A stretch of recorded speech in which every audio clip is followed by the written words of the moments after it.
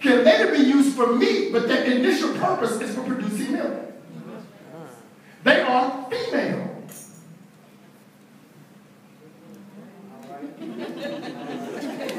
Come on to the farm. Come on. You understand? Come on to me. But bulls are not for milking. Bulls serve a different purpose.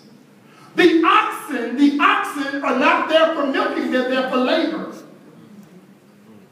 And really, in, in all practical forms, an ox is a castrated bull who no longer reproduces, and yet he labors. We're coming to. Walk with me. Now, in talking about this ox, I'm going to talk two commentaries for a minute because in that day in which this context is written, they only had two beasts of burden. There was the horse and the bull, or the oxen. So they either used horses to carry weight or oxen. Okay? If I say horse, horse. ox. ox. Make sure you with me. All right, Adam, Adam Clarke says like this. This is interesting. I love this. He says, listen, the ox is much more profitable of all the beasts in the or in the animal world.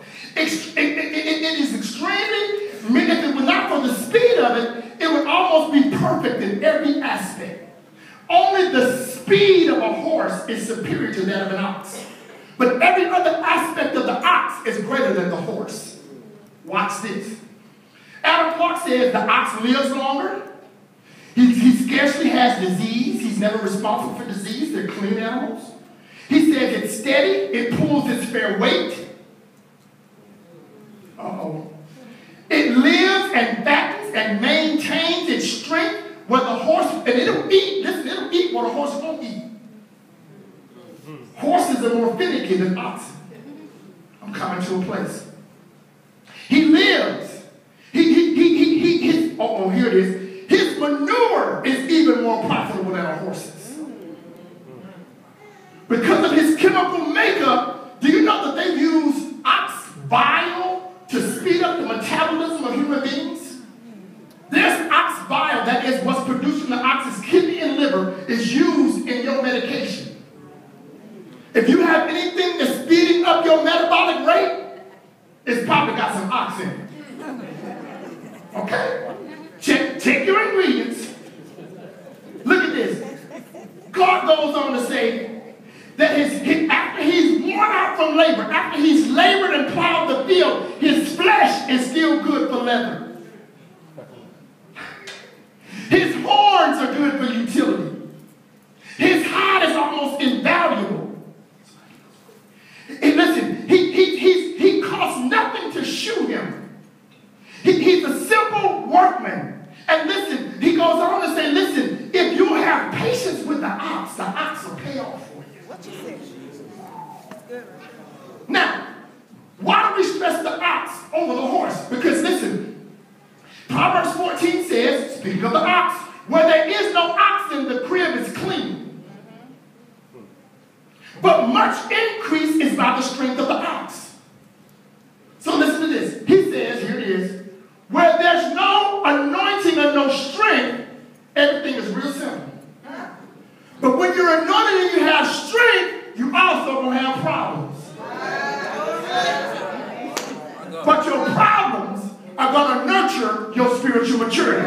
Here it is. You can't have the ox. When we talk about muzzling the ox, I'm going to get to it in a second. But when you talk about muzzling the ox, it means you stop the ox from eating while it's laboring. And, and oh God, I can't slow down. When, when the ox is in the field he's plowing, if you muzzle him, he labors without intake. But if you free him to eat, he works longer and harder for you, but he also excretes more.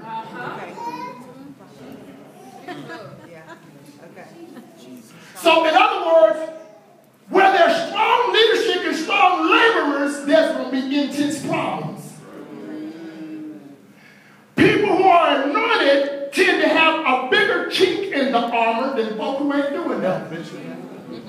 Now, why do we compare the horse, the horse to the ox? Because again, there were only two in labor at that time. Now, look at what Coffman says. Coffman says it like this. He says, listen, things that are most desirable always carry with them certain inconveniences. Can I come down your road? You love the fact that he was a decision maker. That's why you took him home to mom. Oh, he's a decision maker. I love mother. He, he makes decisions, but what you didn't realize is with decision making came stubbornness. so when it came down to a decision that you didn't like, he stayed with his decision, and what you once celebrated, you now criticize. Because you want him to be strong in the area you want him to be strong in, but if he flexes his muscle with you, he's out of order. So what was once your blessing becomes your curse. Oh, you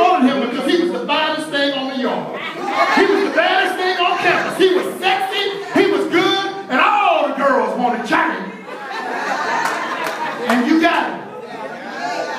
Johnny old now, but Johnny's still sexy, and Johnny's still good, and all the girls want Johnny.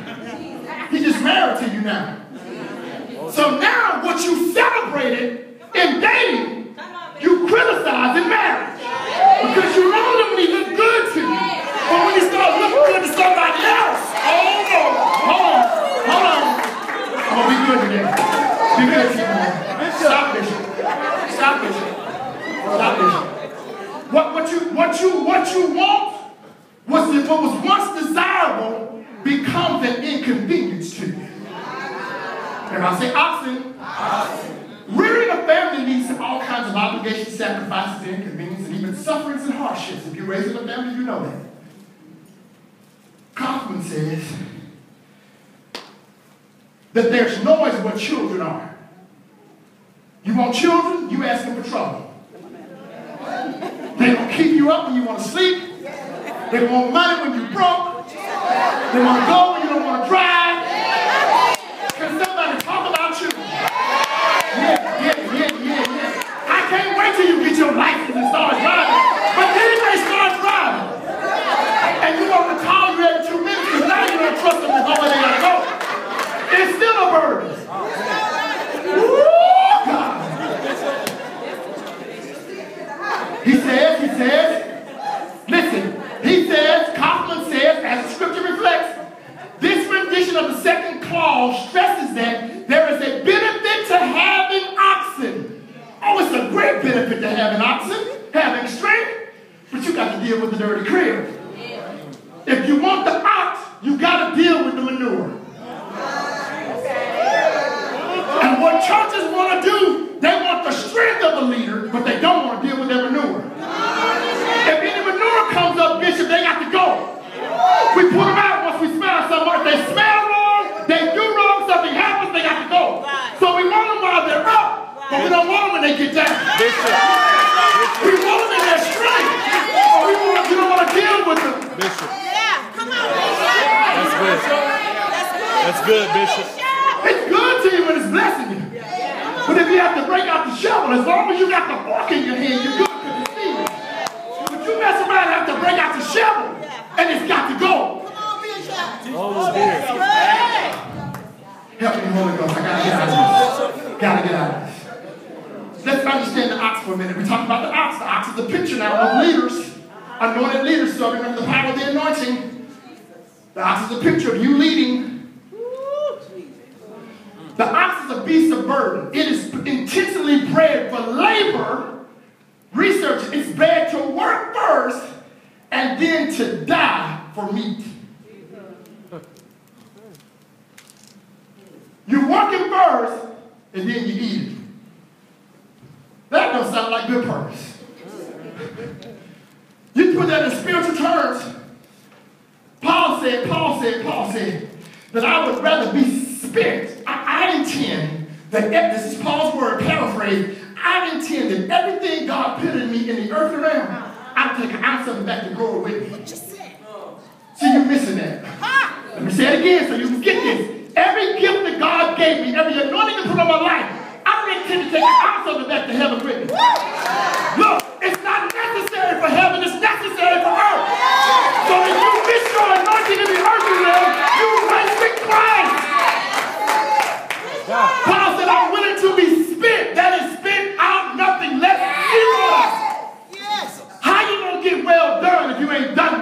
The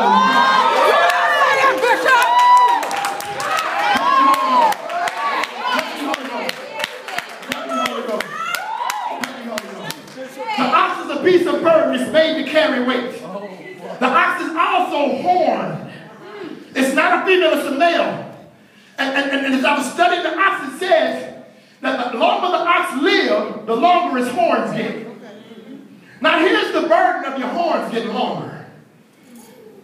Work by way of a yoke. They usually paired together with yoke put around their neck area. With the growth of the horns, the yoke becomes more difficult to take off. Here it is in the spiritual. The longer you minister in your anointed field of ministry, and the sharper you become, the less likely it is for you to walk away from it. I've been at it too long now. I've seen God bring me through. I've seen him turn situations when I thought I wasn't going to make it. I just kept on preaching. I just kept on teaching. And all of a sudden, something turned.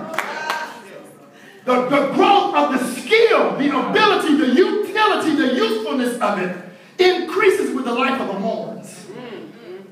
Bishop. Oxen are also well trained. Oxen, and this is crazy, I don't understand it.